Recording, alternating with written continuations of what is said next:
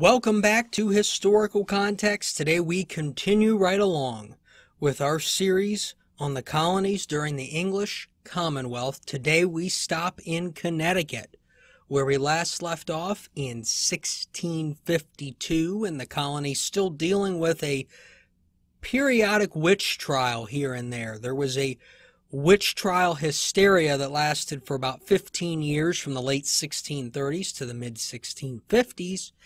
And every now and then, somebody'd be accused of witchcraft and they'd be executed. Now, in July of 1652, England declares war on the Netherlands.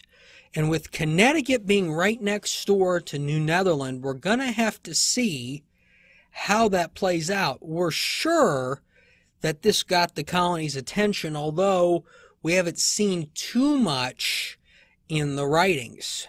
In early 1653, a shortage of food in the colony led to the banning of exports ranging from corn and grain to butter, cheese, and bacon. It was in March that the colony ordered the activation of its military. So the military is being activated and requests its whole military provision from the United Colonies. Now, if you'll recall, the United Colonies is a confederation of colonies in New England. It's Connecticut, New Haven, Plymouth, and Massachusetts Bay. Rhode, uh, Rhode Island is not a member. And the United Colonies has set aside a provision for an entire army. So each colony would send a certain percentage. And they are now requesting, the colony of Connecticut, that the United Colonies bring in their provisions. So they're ready, they're ready to uh, have a conflict here. The general court goes even a little bit further. Let's have a look at the writing. This court orders that the neighboring Indians to the several plantations within this jurisdiction should be required to give an evident testimony of their fidelity to the English by dividing up their guns and other arms to the governor or magistrates, and those that refuse to do so may justly be deemed and looked at by them as their enemies. It goes on that they are not to shoot off any guns or guns in the night or walk in the night except when they come with a message to the English. In such cases, they are to be divided up themselves to the watch, but if they run away from the watch, the watch may shoot them. If you're a native now, the way you show your allegiance to the colony is to give up your weapons. Gun confiscation and martial law for the natives. This, in a colony, if you'll recall from a previous episode, had a mandatory gun ownership law. In May, the General Court established the grounds for training the militia. Training started on the west side of the river, then a separate training was established on the east side, so that no colonist had to regularly cross the river for training. The United Colonies met and determined that a force of 500 men would be enough to call up against New Netherlands should a war break out. The breakdown of the army would be 333 from Massachusetts, that's two thirds. 69 from Plymouth, 65 from Connecticut, and 42 from New Haven. John Dawes was banished from the colony at the same court session for threatening Governor Edward Hopkins. Should Dawes return to the colony, he would be executed. The General Court met on May 21st to determine what towns the 65 men would come from. They determined that there would be 15 from Hartford, 12 from Windsor, 8 from Wethersfield, 8 from Fairfield, 5 from Pequot, later known as Stonington, five from Saybrook, three from Farmington, and one from Matbezek, and one from Norwalk. The 65th man would be an officer. The court also gave John Winthrop the Younger the authority to pull trees from swamps for his sawmill. On June 25th, the General Court met again, and the issue of Massachusetts Bay's commitment came up. And we had talked about this on a previous episode from the Massachusetts Bay side. The court moved that its position be that the Articles of Confederation for the United Colonies bind Massachusetts Bay to defend its allies. The court did agree that if Massachusetts Bay would back out, they would ask for permission to solicit the colony for volunteers. So, you're not going to provide us with the people we need. Can we at least ask amongst your people if anybody wants to volunteer? On June 27th, powder from England came to help defend the colony. In October, the commissioners returned with word that Massachusetts Bay was not going to participate in the Army. So now the Defense Force goes from 500 to 167. Governor Hopkins would call a special General Court session. A message was voted on and sent to the Lord Protector, that's Oliver Cromwell, asking for assistance. In November, the General Court met and agreed to send a grant of 20 pounds to Harvard College. So that's Connecticut sending 20 pounds to Harvard College. At this time, I want to take the opportunity to introduce Thomas Minor. Thomas Minor was a colonist who started a diary in 1653. It provides insight into his life in Connecticut. And he lived in Pequot, which was later called Stonington. Thomas and his wife Grace were the original settlers and by the early 1650s, Thomas was in his early 40s. Ulysses S. Grant, President Grant, and Ned Lamont are descendants of the Minors. One entry on February 8, 1654 was Minor's last will and testament. He left his home, cattle, and goods to his wife and children. The spring of 1654 has entries about Miner working the land and carrying corn to the mill. Later that spring, the colony had to deal with the sudden death of John Haynes, who had served every other year as the colony's governor going back to its founding. The spring general court sessions would operate without a governor. Instead, they were called by Deputy Governor Thomas Wells, so he stepped in. The court officially banned the Dutch from the colony in the spring session. An order was also passed forbidding the sale of liquor to the natives. The May 1654 court appointed assistants to magistrates and gave them duties such as handling misdemeanors, and this was likely done to manage the colony's growing needs. The deputy governor called an emergency session on June 13, 1654. Here, a letter had come in from Oliver Cromwell requesting that the United Colonies meet and determine the number of troops to commit to a war against the Netherlands. So now Massachusetts Bay is being asked by England to step in. The court gave instructions to its commissioners that Connecticut's commitment is not to exceed 200 if Massachusetts fails to join, and that volunteers should only be solicited if the standing army fails to reach 400 or 500. We discussed uh, in Massachusetts Bay episodes how things went from that perspective. And I think hearing from the Connecticut side is better because obviously they are threatened the most by this war with New Netherland.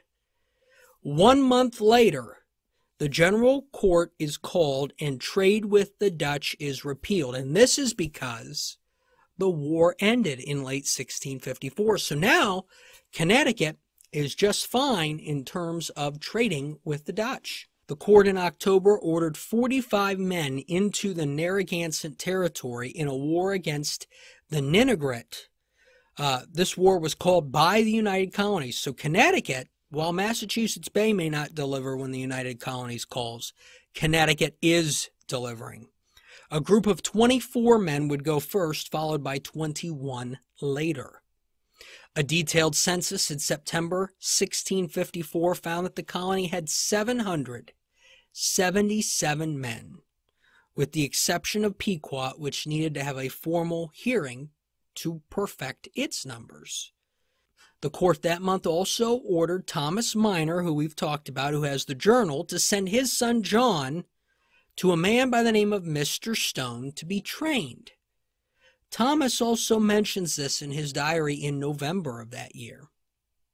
Thomas Wells fills the vacant governor spot in May of 1655. While John Haynes had died, Edward Hopkins, who served every other year that Haynes didn't, had returned to England and was later elected to Parliament there.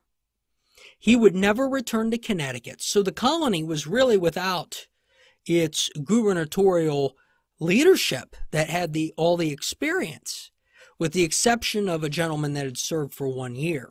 In October of 1655, the census was more incomplete than the year before, and the court fined Saybrook and Norwalk 40 shillings for not reporting their census. Fast forward to the spring of 1656, where John Webster is now named governor. In the October session, price controls were placed on liquor and wine. The court also weighed in on the Quakers. Let's have a look. No town within this jurisdiction shall entertain any Quakers, ranters, Adamites, or such like notorious heretics, or suffer to continue with them above the space of fourteen days, upon the penalty of five pounds per week for any town entertaining any such person. But the townsmen shall give notice to the two next magistrates or assistants who shall have the power to send them to prison until they can be conveniently sent out of the jurisdiction. While Quakers weren't being whipped like they were in Massachusetts, they are banned from Connecticut. Any ship that brings a heretic is ordered to take them away from the colony with a penalty of 20 pounds for failing to comply. The court also forbid the sale of horses and ships to the natives and cracked down on fraud being committed by butchers and tanners. In May of 1657, a new governor is named, John Winthrop the Younger. Winthrop was invited to live in Hartford, Connecticut at the same property used by former Governor John Haynes. The court also issued an additional order against the Quakers. It's kind of like Massachusetts here, one thing after another. Let's have a look at the writing. This court, being duly sensible of the danger this commonwealth is in, of being poisoned in their judgment and principles by some loathsome heretics, whether Quakers, ranters, Adamites, or some others like them, it is ordered and decreed that no town or person therein shall give entertainment to any of the aforesaid known heretics, upon penalty of five pounds for each heretic. A five pound fee was also added if anyone spoke to the designated heretics. So they're working to find their way out of this problem, if you will. The August court got caught into a fight amongst the natives. A native murdered the sachem of another native tribe. That tribe called for revenge and requested the Connecticut colonists assistance in their plans. John Winthrop the Younger noted that the offender's uncle had been killed by the opposing tribe prior to this incident, and that the Connecticut colony would press for peace. In October, the court imposed a 10 shilling fine for anyone possessing Quaker literature. At this point, no punishments have been handed down for Quakerism, so I'm assuming nobody's shown up yet, but maybe they have and they're just not recording it. But the official record right now is void of any actual punishments. A dispute in the church had also broken out at the same time, and the court called for the elders of the churches to gather and to settle their differences. This is a little different than Massachusetts Bay in that the government's a little more hands off. They're encouraging a settlement, but they're not in it. They're not the ones mediating it. In May of 1658, Thomas Wells is elected governor again. Natives were fined at this court session for starting a fire that apparently caused damage to the town of Southampton. The fine was 200 pounds to be paid over the next five years. Samuel Stone presented a petition regarding the church dispute. He noted that the affected individuals had left the church and that the problem was no longer with the church of Hartford itself, but with those who had left the church. The August court brought up a dangerous issue in Farmington where nearby natives were engaged in skirmishes and stray bullets would occasionally be fired into the town. One of the tribes involved had been given permission to live in Farmington, and the court requested that they now leave the town. And why why not? I mean, if they're going to be fighting and bullets are going to be flying into the town, get them out of there. The court also weighed in on the Church of Hartford controversy, requesting that the withdrawers participate in the negotiations. That's the people who left. The court stated that it would assert itself in the process and choose individuals to mediate the dispute. So now they are becoming more like the Massachusetts Bay Colony. The October court levied a penny or one pence per pound tax on estates. In May 1659, John Winthrop the Younger was once again named governor, and this would be the beginning of a lengthy term for him. This would last a while. We're going to be talking about him for a period of time. In June, the court established a day of humiliation to pray for the unsettledness in England. This is the only real mention of England. We didn't get any correspondence from Oliver Cromwell like we had in Massachusetts or Virginia or Maryland for that matter. The Connecticut records either did not record correspondence from England or they didn't receive any, but they were aware of the unsettledness in England. In November, the estate tax was raised to a penny and a half per pound on estates. That's a 50% increase. The court also acknowledged the Farmington natives were two years behind on paying for that fire so it's probably not going to get paid for. I think the lack of acknowledgement of England is an interesting contrast between here and Massachusetts Bay. It seems Connecticut was less caring of what was going on over there, and I think vice versa. Also, we saw laws passed against the Quakers, but not enforced, which I guess leads me to believe that nobody showed up. So, all in all, pretty uneventful in Connecticut. But next week, we're going to go to Rhode Island where we talk about the colony coming together. But even though they came together, it does not mean that they got along. And we'll talk about that next time on Historical Context.